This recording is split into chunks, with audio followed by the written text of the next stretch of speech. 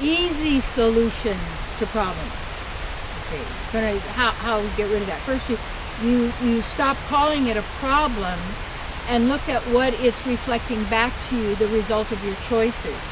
And you'll see probably that the that the problem now is the, was actually the solution to a prior problem like the person will say, you know, I'm lonely, I don't have a relationship, I want a relationship. Okay, they have a problem. Now they got a relationship. But pretty soon they say, you know, I'd bet rather be alone than have this relationship. So then now, you you know, now you, what you know, you don't want that relationship, you're going to get rid of that, you're going to want to have another one. So it's like when we solve problems from the mind, from the thoughts, from what we've been taught, the logic, the reasoning, having to do with intellectualism, and all of the books and study about this and that and who it is and the labels and the blah blah blah and everything. Just remember who are writing all these books, who's publishing all of them, who has the money to do that, to distribute that. So you'd always begin to look at who are these people, who are these entities, what else are they doing, and you know, you do your own research.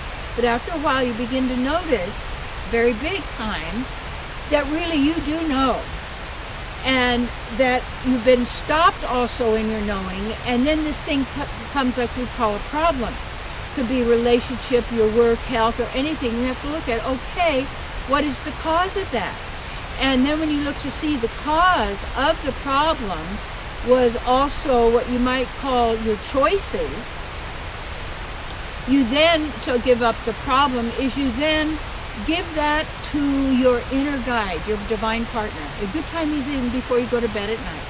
And just turn it over and say, hey, and you don't even have to talk after a while. You know, your inner self knows what you have need of. And it's your source, your partner, your beloved that is sourcing all of us. And, and we're unified.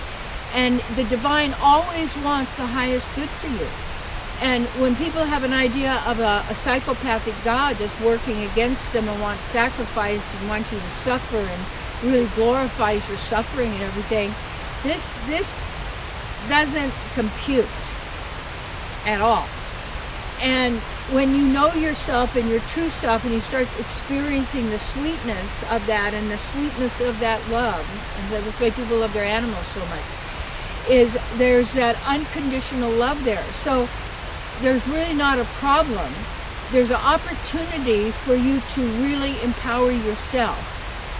And by then looking to see the source of it and why you call it a problem and how much power you have given to a certain situation or however you want it to be, to then you could be happy and realize how much what our emotions are activated, fear based that's coming from the mind and our reactions to the outer world that are all connected with all these meanings, all this stuff is very connected to suffering. And when we, we finally get that, how we stop suffering is to notice where the source of it comes from and how it's happening. And, and then thrown in, people say, well, I have to suffer, I have to have fear, I have to worry in order to solve my problem. No, you're using you focus on on the the the wrong source of all. See, and there's always distraction to take you outside and keep you always scared and anxious and all that. You have to you pull yourself, see, together. And then what you do is now you affirm and know the truth. That means you treat the condition by even using words if you need to remind yourself of who you are. That means to read that which will inspire you. My book, Live Your Bliss. What you think of me is none of my business. Dare to be great. Using these uh, programs here, I can work with you on whatever level that you need and, and you desire. And so what to me is, is so exciting or thrilling is we treat the condition by not focusing on the condition, but by going to the truth, the absolute truth. And we need to remind ourselves of this because we're constantly being flooded with fear based ideas and our senses staying actively pursuing objects out here, thinking that will give us the solution to the real problem. Yeah. Self abuse, self hatred, all, of this. And that projects on others and, and, and uh, keeping some kind of a false, sick soap opera reality continuing. No, that's not my choice. I don't consent. And let those so called problems bring you into yourself. I am so grateful. Not that I have to do it again.